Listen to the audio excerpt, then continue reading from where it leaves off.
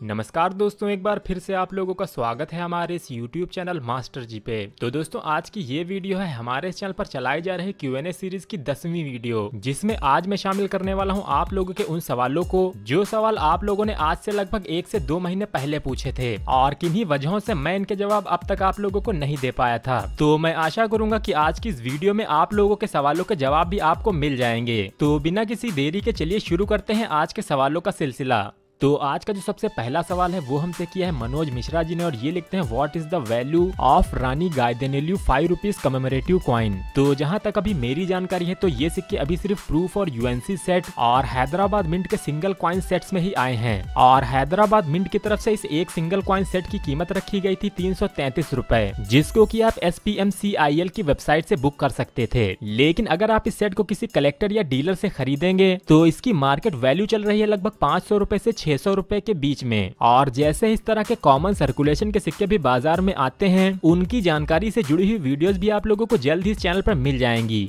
अगला सवाल हमसे किया है मोहम्मद आशिक ने। ये लिखते हैं, मेरे पास है ईस्ट इंडिया कंपनी का हाफ़ आना 1835 का। इसकी कीमत क्या है? तो इस तरह के 1835 के हाफ़ आना के सिक्कों की कीमत की बात करें तो इनकी कीमतें डिपेंड करती है इनकी कंडीशन और इनकी मिंट्स पे। यानी कि इनमें बॉम्बे और कैलकाटा मिंट के सिक्कों की यूएनसी कंडीशन में कीमत जा सकती है तीन से लेके पाँच हज़ार रूपए के बीच में। वहीं 1835 के इन हाफ़ आना में मद्रास मिंट के सिक्के भी आते हैं, जो कि बॉम्बे और कैलकाटा मिंट के सिक्कों से ज़्यादा महँगे बिकते हैं, और उसकी कीमत जा सकती है लगभग 10 से पंद्रह हज़ार रूपए के बीच में। तो इन सिक्कों की मिंट्स को हम कैसे पहचान सकते हैं? इसके लिए इन सिक्कों पर जल्द ही मैं अलग से एक डेडिकेटेड वीडियो बना दूँगा, जिसमें इन सिक्कों से जुड़ी हुई और भी ज़्यादा जानकारियाँ आप लोगों को मिल जाएँगी। तो यहाँ पर बलजिंदर सिंह राजू जी ने लिखा की, सर, मेरे पास पच्चीस पैसे कॉइन एशियन गेम्स उन्नीस सौ बयासी का सिक्का है। इसकी कीमत क्या होगी? तो 25 पैसे के अब तक आए सभी कमेमोरेटिव क्वाइंस पर मैंने पहले से ही एक डेडिकेटेड वीडियो बनाई हुई है, जिसका लिंक मैं आपको ऊपर आई बटन में दे रहा हूँ। तो आप इस वीडियो को देखकर 25 पैसे के इन सभी कमेमोरेटिव क्वाइंस की कीमत जान सकते हैं।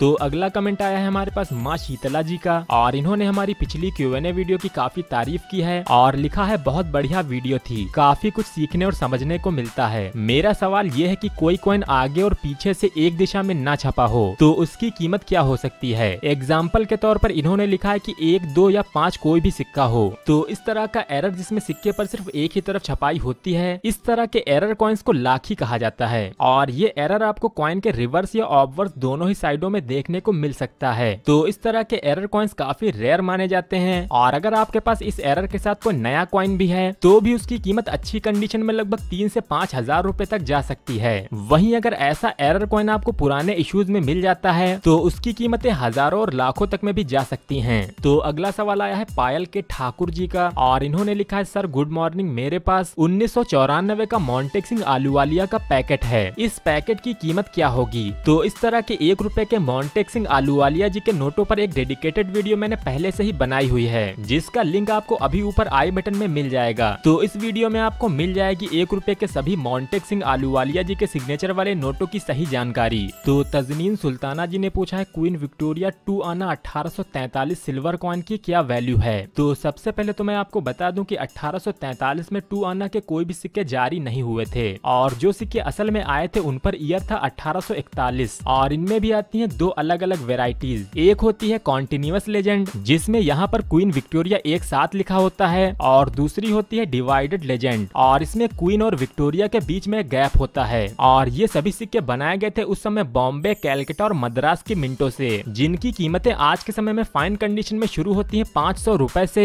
और यूएनसी कंडीशन में जाती है लगभग साढ़े सात हज़ार रूपए तक। अगला सवाल हमसे किया है जयदीप शिंदे जी ने और इन्होंने लिखा है, मेरे पास एक रूपए का मच्छी उद्योग वाला क्वाइन है, इसकी मार्केट वैल्यू क्या है? तो जयदीप जी, मैं आपको बता दूँ कि मत्स्य उद्योग यानी कि फिशरीज की थीम पर उन्नीस में इस तरह के बीस पैसे, पचास पैसे और सौ रूपए के सिक्के आए थे, जिसमें से ये सौ रूपए का सिक्का आप लोगों को देखने को मिल सकता है सिर्फ़ प्रूफ और यूएनसी सेट्स में, जबकि ये बीस पैसे और पचास पैसे के सिक्के कॉमन सर्कुलेशन में भी आए थे। लेकिन इस तरह के जिस एक रुपए के सिक्के की आप बात कर रहे हैं, वो सिक्का एक फेक सिक्का है, जिसको की कुछ फ्रॉड लोगो ने ही बनाया हुआ है। जबकि ऐसा कोई भी एक रूपए का सिक्का भारत सरकार ने कभी जारी ही नहीं किया था। तो फेक होने की वजह से इसकी नुमिस्मेटिक मार्केट में कोई भी वैल्यू नहीं है। तो नीलाम्बर बारिक जी जानना चाहते हैं 1911, 1921 और 1922 के one rupee George fifth silver coins की कीमत तो 1911, 1921 और 1922 के तीनों ही सिक्के रेयर की कैटेगरी में आते हैं और 1911 से लेकर 1936 के सभी एक रूपए के सिक्कों की कीमत मैंने अपनी इस वाली वीडियो में आप सभी को बताई हुई है तो अगर आप सभी ने अभी तक ये वाली वीडियो भी नहीं देखी है तो इस वीडियो को देखकर आप लोग एक रूपए के 1911 से लेकर 1936 तक के सभी सिक्कों की कीमत जान सकते हैं तो बदारिया ब्रदर्स जानना चाहते हैं 1890 के टू आना के सिक्के की क्या कीमत होगी? तो बात करें विक्टोरिया एम्प्रेस के 1890 के इस टू आना के सिक्के की कीमत की। तो चांदी के इस सिक्के की कीमत शुरू होती है फाइन कंडीशन में चार सौ रूपए से और यूएनसी कंडीशन में ये कीमत जाती है लगभग पंद्रह सौ रूपए तक। तो अगला सवाल किया है सुमोन बिट ने और ये जानना चाहते हैं कॉमनवेल्थ पार्लियामेंट्री कॉन्फ्रेंस उन्नीस सौ इक्यानवे के एक रूपए के सिक्के की कीमत। तो उन्नीस सौ इक्यानबे का एक रूपए का ये कमेमोरेटिव क्वाइन जारी गया था सिर्फ़ बॉम्बे मिंट से। और इस सिक्के की कीमत जाती है पाँच रूपए ऐसी लेकर पच्चीस रूपए के बीच में, जो की आपके सिक्के की कंडीशन पे डिपेंड करेगी। तो अगला सवाल हमारे पास आया है सुनीत सिंह जी का, और इन्होंने लिखा है I have 1981 rupee note signed by doctor Manmohan Singh as finance secretary how much is it worth और लगभग यही सवाल हमसे किया है सईद जी ने, जिसमें इन्होंने लिखा है, सर, मेरे पास मनमोहन सिंह के सिग्नेचर वाला एक रुपए के नोट का बंडल है। इसकी क्या कीमत होगी? तो आप सभी लोगों को मैं एक बार फिर से बता दूँ कि मैंने इस तरह के ज़्यादातर टॉपिक्स पर पहले से ही डेडिकेटेड वीडियोस बनाई हुई हैं। तो अगर आप किसी भी स्पेसिफिक नोट या सिक्के की जानकारी पाना चाहते हैं तो आप उसको सिंपली यूट्यूब पर सर्च कर सकते हैं। जैसे कि मान लीजिए कि आपको जाननी है इस तरह के एक रुपए के डॉक्टर मनमोहन सिंह जी के सिग्नेचर वाले नोटों की कीमत। तो सिंपली आप लोग यहाँ पर सर्च कीजिए one rupee note signed by Manmohan Singh value और इसके साथ अगर इसमें आप मास्टर जी भी जोड़ देंगे तो वो वीडियो आपको हंड्रेड परसेंट एक नंबर पे ही मिल जाएगी। तो यहाँ पर सर्च में जो सबसे पहली वीडियो आपके सामने आई है, ये है हमारे चैनल की ही वीडियो और इसके नीचे आपको हमारे चैनल का नाम भी लिखा हुआ दिख रहा है। तो यहाँ पर मैंने ऑलरेडी एक रुपए के डॉक्टर मनमोहन सिंह जी के सिग्नेचर वाले नोटों की कीमत बताई हुई है। साथ ही इस वीडियो में मैंने कुछ ऐसे नोटों की भी जानकारी दी है, जिनकी कीमत एक लाख बीस हज़ार रूपए तक भी जाती है। और इसी के साथ इस वीडियो का लिंक मैं ऊपर आई बटन में भी दे दूँगा। यहाँ से भी आप लोग इस वीडियो को देख सकते हैं।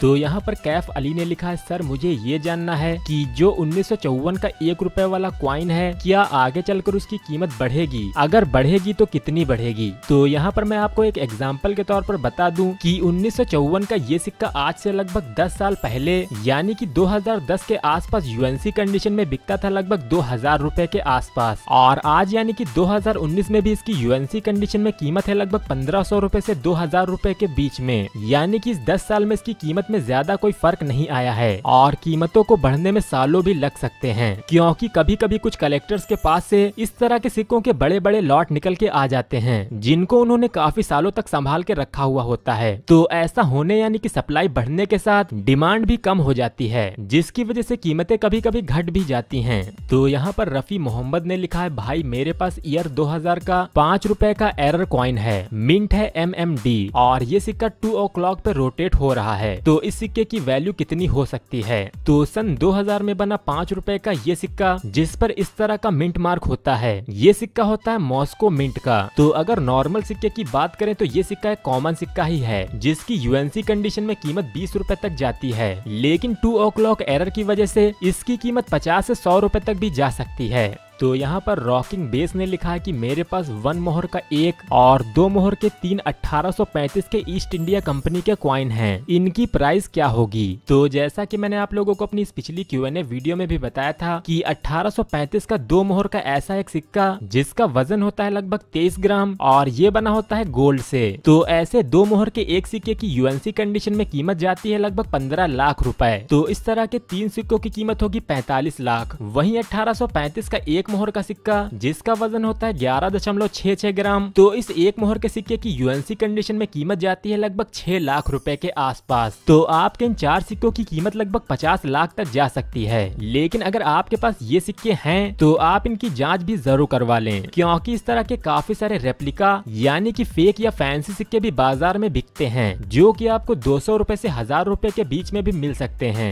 तो यहाँ पर भालचंद्र शर्मा जी ने लिखा है, नमस्कार, स्टार रेयर नोट बिकते भी हैं या नहीं? मैं 10 अगस्त को अहमदाबाद एग्जीबिशन में गया था, मगर इनको कोई नहीं लेता, सर। तो नमस्कार शर्मा जी, जैसा कि आपने अपने कमेंट में ही लिखा कि रेयर स्टार नोट तो रेयर स्टार नोट्स में काफ़ी सारे नोट्स आते हैं, जैसे कि एग्ज़ाम्पल के तौर पर 2008 का ये 99 ए प्रिफिक्स का नोट जो कि यूएनसी कंडीशन में नीलाम किया गया था चार लाख पच्चीस हज़ार रूपए की कीमत में। लेकिन ये कीमतें भी इसकी कंडीशन पे ही डिपेंड करती हैं। मान लीजिए कि यही सेम नोट आपके पास कम अच्छी कंडीशन में होता। तो हो सकता था कि यही नोट एक लाख में ही बिकता। और यहाँ पर मैं आप सभी को बता दूँ कि हर एक स्टार नोट रेयर नहीं होता है। कुछ ही ऐसे स्टार नोट है जिनकी कीमत लाखों तक में जाती है। और बाकी आते हैं कुछ ऐसे स्केयर नोट, जिनकी कीमतें हज़ार या दस हज़ार तक भी चली जाती हैं। लेकिन ज़्यादातर स्टार नोट कॉमन ही होते हैं, जिनकी कीमतें उनकी फेस वैल्यू से लगभग पाँच से दस रूपए ही ऊपर आप लोगों को मिल सकती है। तो ज़रूरी नहीं है की हर एक स्टार नोट आपका एग्जीबिशन में बिक ही जाएगा। लेकिन हाँ अगर कोई रेयर स्टार नोट है और आप उसे जेनुअन प्राइस में बेच रहे हैं और उसकी कंडीशन भी यूएनसी है। तो आपके ऐसे यूएनसी कंडीशन के नोट ज़रूर बिकेंगे, क्योंकि एग्जीबिशन में ज़्यादातर कलेक्टर सिर्फ़ यूएनसी कंडीशन के नोट का ही कलेक्शन करना पसंद करते हैं। तो मैं आशा करता हूँ की आज की इस वीडियो से आप लोगों के ज़्यादा से ज़्यादा सवालों के जवाब आप लोगों को मिल गए होंगे। लेकिन फिर भी अगर आपके मन में सिक्के और नोटों से जुड़ा हुआ कोई भी सवाल है तो उस सवाल को आप नीचे कमेंट बॉक्स में हैश टैग मास्टर जी लगाकर मुझसे पूछ सकते हैं। और इसके साथ ही अगर आपने इस वीडियो को लाइक और शेयर भी नहीं किया है तो आप लोग इसे लाइक करके अपने दोस्तों के साथ भी ज़रूर शेयर करें। और आगे भी हमारी वीडियोस को पाने के लिए आप लोग इस चैनल को सब्सक्राइब करके उस घंटी के बटन को भी ज़रूर दबा दें, ताकि आपका और हमारा साथ आगे भी ऐसे ही बना रहे। तो हमारी आज की इस वीडियो में इतना ही, और आप सभी लोगों का इस वीडियो को देखने के लिए बहुत बहुत धन्यवाद।